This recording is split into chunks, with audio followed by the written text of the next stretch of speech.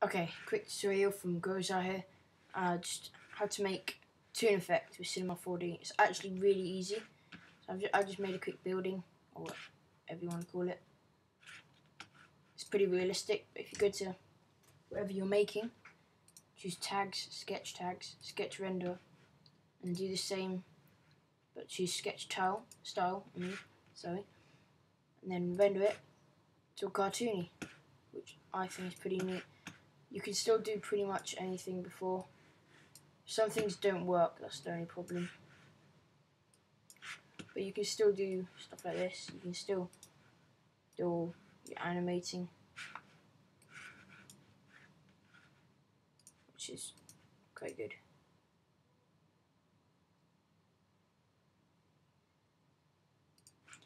But if I was to render this out I think uh, in our R11, if you've got one object that's got the two tags, the, all the rest have got the same. Um, but in R12, uh, it's different. You have to do each one. So, again, sketch tag, sketch render, sketch tag, sketch style, and cartoon. You can mess around with the settings here, so you can go choose presets if you wanted to. So let's choose pencil. I didn't really do much because it's not a very detailed object, but you know what I mean. So you can do pretty nice effects with this. It's well worth giving it a try.